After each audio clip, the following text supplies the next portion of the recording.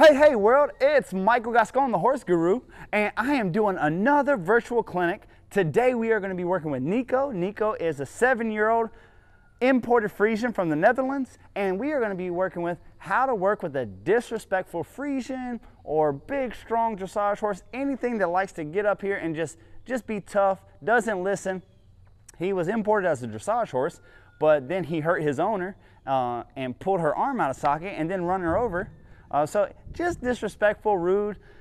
Same way under saddle, no steering wheel, and we're just gonna do our very best to, to humble him up, get him a little softer and easier, basically put more obedience on him. Whenever he spooked, he would take off. Whenever he would take off, he had no steering wheel. Um, you couldn't really steer him because anything that you would do with him, his head would just pop up like here and get stuck. So though it looked pretty, you had no control because you couldn't control his steering wheel. Our mantra at Gascon Horsemanship is control the head, control the horse. So if I can get that joker, left and right is where we're gonna start. If you control left and right, you control where the horse goes. The horse cannot run with you, buck with you, or rear with you if you can get the horse left and right. Everything that doesn't behoove your health and well-being happens in a straight line. Bucking, running, rearing, it all has to do with something with them locking you out of the steering wheel, their head being the steering wheel, and them driving with their back end. So if I can get him soft and easy enough to give up his back end, something that he's never learned to do, soft and easily, where no matter how spooked he gets, how worried he gets, I can simply grab one rein and move his butt. I'm gonna get this horse where he can be a trail horse like his owner wants him to be. He can be an easy, forgiving horse uh, like he wants to be. And he has a little meanness about him. When he came, uh, when he came a couple weeks ago, he was a little striky, a little bitey. He would kick you if he got the chance as he's getting less and less opportunities to do those things and it's not helping him, we're still doing whatever we want to do with him, that's starting to dissipate. So he's becoming more personable. But it comes from controlling the head. Control the head, control the horse. Uh, I just got on him. I cinched him up, swung a leg over. The first thing that I want to do is sit still. Horses are creatures of habit. If you get on and go, get on and go. Before long, they'll go before you get on. The next thing I want to do is check button number one, which is his head. I'm gonna slide my hand down until I find his face and I'm gonna pull to the seam of my jean in my pocket. I see a lot of folks flexing in front of their body here. I never want you flexing in front of your body unless you're trying to move the shoulder. And I don't want you flexing behind your hip unless you're trying to move the butt. So now we have three buttons. Button number one, pull him to our, our hip, that means give me your head. Pull him towards his butt, towards his hip bone, that means give me your butt. And if we pull him in front of us towards our shoulder, that means we want his shoulder. So we're gonna start with his head, slide my hand down the rein, find his face, pull here. Slide my hand down his face, pull here. Just his ability to do this shows you the three weeks of work that we had, the few weeks of work that we had with him, because he couldn't even do that. I have a D-ring snaffle on him. I'm just gonna find his face, and I simply wanna be able to flex him from side to side without there being an issue.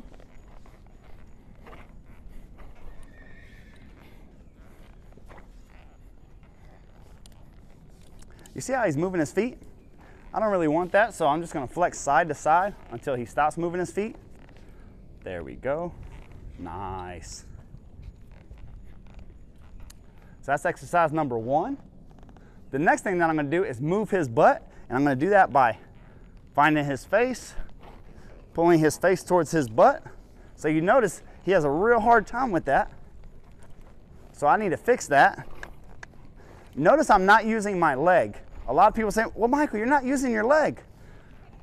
In the history of human horses interaction, nobody has ever physically kicked the horse and moved them where they wanted. If you kicked the horse and your horse did what you wanted them to do, they wanted to. If you don't believe me, I have a group of unstarted colts right out there, big group out in the field. Feel free to walk up to any of them you want to and kick them and see if they go where you want them to go. I would bet no. So what I'd rather do is slide my hand down the rein extend my inside foot so I can push against the stirrup and pull back because he's real stiff. And then I want to twist my body and look at his hip. Twist my body and look at his hip. This is the work that a lot of a lot of dressage horses and gaited horses and English horses are missing to be forgiving trail horses. They're so built up in the bridle in a straight line that they don't give to the side. And without the ability to take his butt away, when he gets uncomfortable, we have no ability to take his motor away from him. So I'm just walking around here. It should never be harder to turn your horse than it is to turn your truck, to turn your car. This horse weighs 1,500 pounds, 1,700 pounds. If I can't turn him and move his butt at a walk, when he gets scared and gets to going fast and gets to bucking, what am I going to do with him then? So I'm just looking for him to be softer. Every time that he moves his butt, I'm releasing those reins and I'm just picking apart his resistance. Look at him starting to drop his head. That's not with me asking him to drop his head. That's just me taking away his resistance. When he starts to try to lay on me, I pulsate so that he has nothing to lay on, which means I go bump, bump, bump, bump. Every time he gives me a big step over with his back end, watch his back inside foot step under and pass his back foot on the outside. Right there. Nice. I'm gonna trot him off here and ask for the same thing. Excuse me. Thank you, sir. Excuse me. Thank you, sir.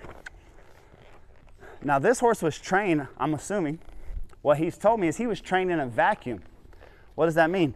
That means he was trained in a good environment, you know, in, in a enclosed arena with no stimulus and no stimulation. So whenever we started riding him out and about, when he started seeing things in traffic and trucks and cats and dogs and steers and, and all the stuff that we have in Redneckville, he would lose his steering wheel. All that dressage training would go out the window because he was stiffing up on you. He would stiffen up on you and take the steering wheel from you, just take you for a ride. Just flat out, you weren't stopping him. So it's our job to make him so, so soft and easy that when his owner, his owner is an experienced gal, and she probably weighs 110 pounds. So there's not a lot of muscle there, nor should there have to be. So we want him so soft that it doesn't take a grown man pulling on his face to give his butt and give up that motor. But anybody, a little kid, uh, a little kid, an amateur, somebody green, somebody scared, can simply just reach down and grab his face and move his butt. Well, the way that we're going to be able to get that is just by repetition. For him to realize anytime that he grabs a hold of, he grabs a hold of our hands,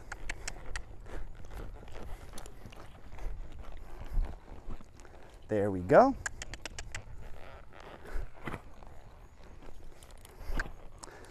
Pro tip here, look whenever I'm asking him to do this, look how I really twist and turn my body.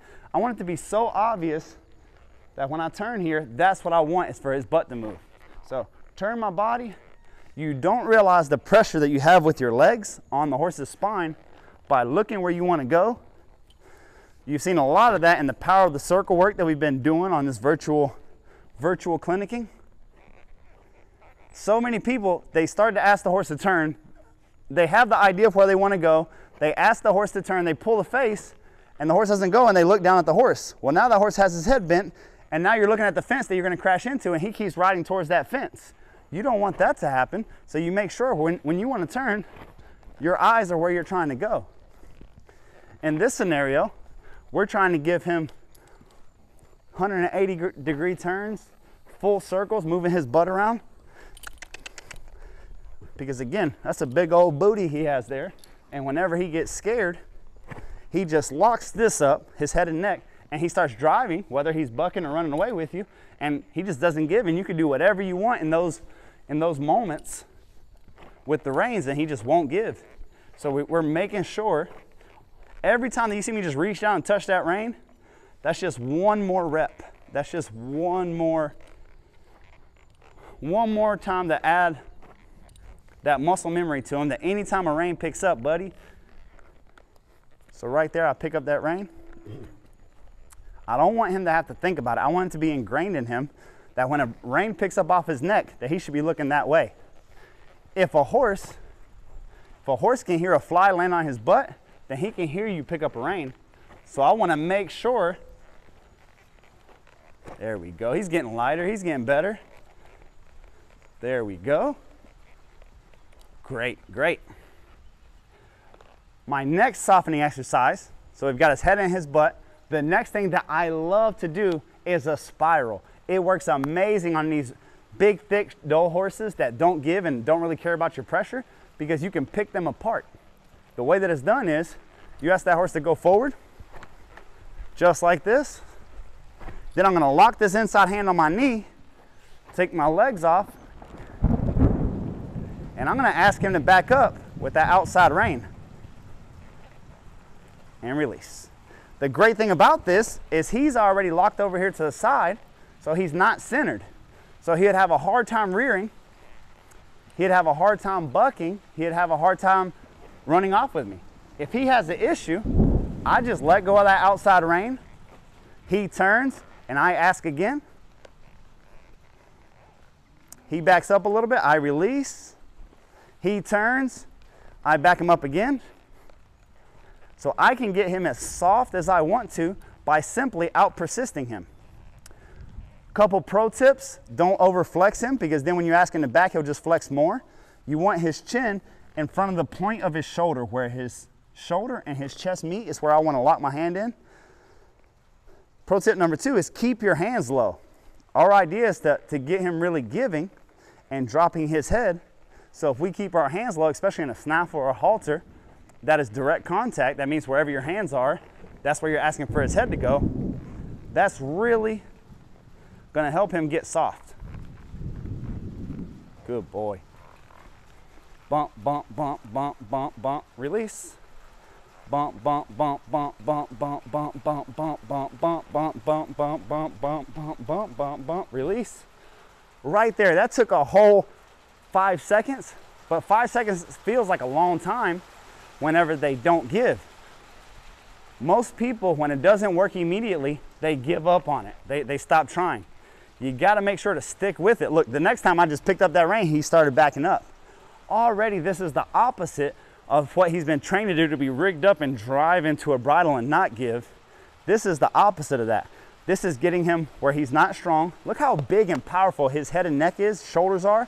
When we get him off center, we're taking away half of his muscle groups. So we're getting to, to work with a weakened version of him, a shadow of himself. Since he doesn't feel strong here, he doesn't feel like he should rear, he doesn't feel like he should buck because I have him off center already. If I really had an issue, I'd just pitch the outside rein, toss that, and then move his butt like we already showed him. If we do this, it's gonna be a lot easier to just systematically break him apart. Now he's starting to get fingertip soft. That's what I'm looking for. I want him to be so butter soft that you could put a kid on him and you're gonna be able to catch him with no problem. Get him a little bit more bent, asking to back up. Bump, bump, release, bump, bump, release, bump, bump, release. Good job, buddy. Good job. All right, guys, the next thing that we're gonna do is we're gonna come right here and we're gonna ask for those shoulders to give. So what we wanna do is we wanna get them going forward. Now we're gonna put that inside rein and leg on him, take that outside rein and leg off of him. And that's button number three. Button number one was flex his head. Button number two was move his butt. Button number three with the reins is to move those shoulders over. When I want him to move, when I want to go straight, I have two reins and two legs on him. When I want him to change directions, I'm going to take a leg and a rein off of him. See how his shoulder pops out? His front feet cross over. There we go. Perfect. Switch sides.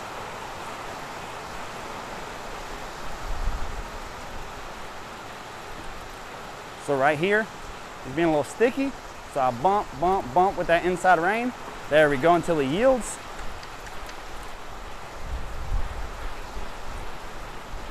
Bump, bump, bump with that inside rein. There we go. Bump, bump, bump with that inside rein. Take my outside rein and leg off of him. And release. There we go, buddy. Push him over, push him over.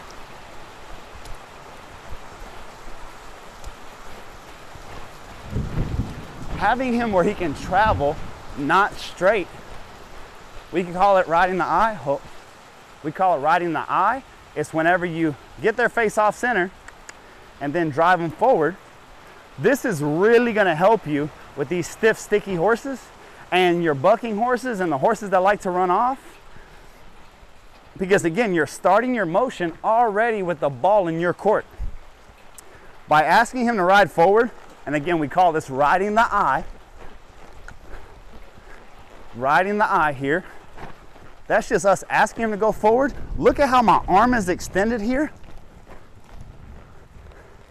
The reason this is gonna work so well, when he bucks, he puts his head down between his legs and he starts giving it to you. When he runs off, he locks his nose out in a straight line and he takes off with you. So since I did a spiral and I have his shoulders moving, now I can ride the eye. Look how I extend, he still feels free to go forward, but I have my inside hand extended like this. So the only way for him to run off with me or to take his to take his face from me to buck is he's gonna have to pull my body out of the saddle. And at this point in his training, he's too soft to do that. He's still not a soft horse, but he's too sensitive to try to pull me out of the saddle. So I can gas him up and I can look up because I know where his head's at. Anytime he gets heavy on me, I'll bump, bump, bump. When he gets soft, I'll leave him alone. Bump, bump, bump. When he gets soft, I'll leave him alone. This is really gonna allow you to ride more difficult horses than you're accustomed to, more problematic horses than you're accustomed to. Trying to ride a bucker or a runner the same way you ride your old broke horse, that's not a recipe for success your old broke horse has earned your trust and you allow them to be straight. You allow them to ride with two hands. If you do that with him, he's going to take advantage of you because that's who he is. So until he earns his trust, he's not going to earn his straightness again. And that's really how you're going to handle a disrespectful Friesian or big horse. Get them soft left and right. If you can control left and right, you can control where they go. They have no say bucking, running, or rearing, they can't take you for a ride if you control left and right. Then when we start controlling up and down, which we started, there we go. We start controlling up and down, we start controlling how they go. So when we want him to be in dressage mode, we'll pick our hands up, pick his head up, he'll get prancy. Our gaited horse, we pick their heads up, let them gait. Um, our English horses that we want up in the bridle, we pick our hands up. But for him, we want him to be a quiet trail horse. That's what his owner wants. So left and right keeps him from running away with us or bucking us off.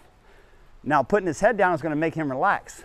Anytime we put his poll below his withers, it releases an endorphin that kills adrenaline. But you can't ask them to put their head down until you have left and right. You need to pick them apart so you can control where they're going. Then, and only then, can we start controlling how they go. So now you'll start seeing me start to apply both hands and say, hey buddy, this is called putting a ceiling on. And anytime he picks his head up, I'm gonna kind of bother his face, bump him a little left, right. Look how I'm sitting back on my pockets. Bump left, right, release. So as long as he'll walk like, the fact that he's walking like this, I'm so proud of his progress and how far he's been able to come this month. Because when I tell you he was the opposite of a horse that could put his head down, even in the stall, you would pass by a stall, eh, he was stuck like this, like, like he was made out of granite. And when you pulled on him, it was like pulling on a building. The fact that he can drop his head and find relaxation under saddle, that is a big win, a big forward. That's what we're looking for. The other thing is I'm going to sit back on his butt. The more I sit over his butt, the more it raises his withers.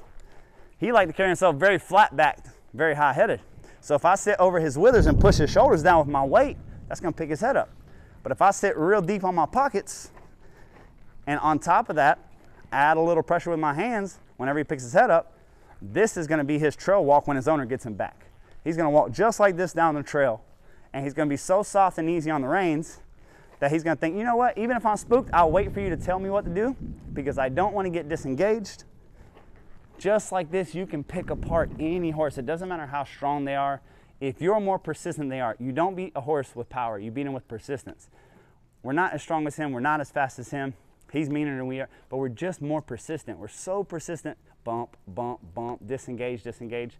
And every time he drops, every time that he softens, we immediately release just to do it all over again. And in the course of a month, I mean, completely changing.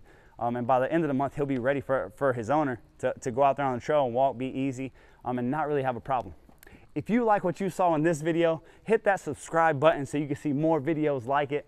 And I'm supposed to give a, a giveaway, a free one week, I said again, a free one week vacation with me, Mr. MG, down here in Poplarville, Mississippi. But to get that, what you got to do is be the first person watching this live to email a special code to gasconhorsemanship at gmail.com. And this special code, I haven't came up with it yet, but I'm coming up. Hmm. All right. The special code is khaki kangaroos. I repeat, khaki kangaroos. That's a special code. If you send it to gasconhorsemanship at gmail.com and you're the first person to send it, you're gonna get a free one week vacation right here in South Mississippi and we'll show you all the tricks of the trade. If you wanna see more in-depth coverage of how to work your horse and all the how-tos, check out the bio link. You can see our membership. It has over 700 videos of how to. I have this information and I'm trying to give it to the world. I want you guys to know how because I want you to stay safer and have more fun on your horses. So check out the link below. And again, that secret code is khaki kangaroos. All right, guys. See you in the next video.